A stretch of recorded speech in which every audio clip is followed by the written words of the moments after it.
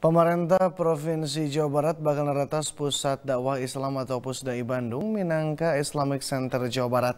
Lianti Minangka salah satu masjid panggadina di Kota Bandung serta wadah nunang tayungan Ormas Islam di Jawa Barat. Pusdai oge bakal diayeban ku sabawara program unggulan pemerintah bikin masyarakat lebah ngahontal Jabar juara lahir batin.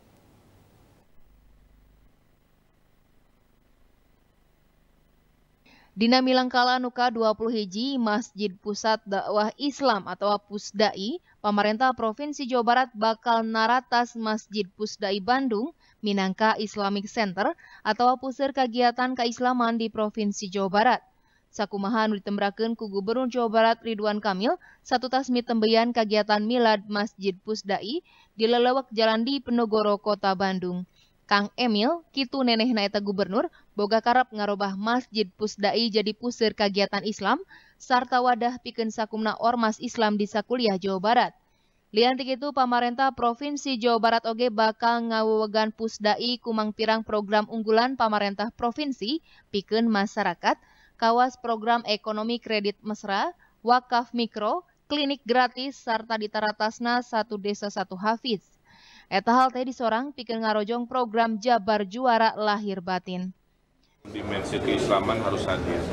Selain ritualnya ada kajiannya, ada ekonomi, pengembangan wakaf mikro, ya, pengembangan uh, kredit mesra, pengembangan wirausaha dan lain-lain harus maksimal.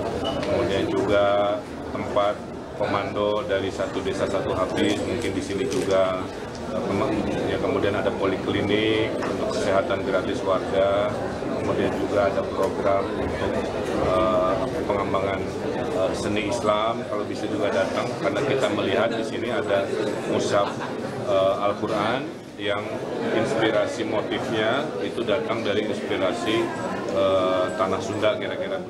Sajeroning itu Ketua DKM Pusdai Kiai Haji Hoirul Anam ngabagiakeun kalawan HD etara rancang pamarentah provinsi pikeun ratas Pusdai selaku Islamic Center Jawa Barat.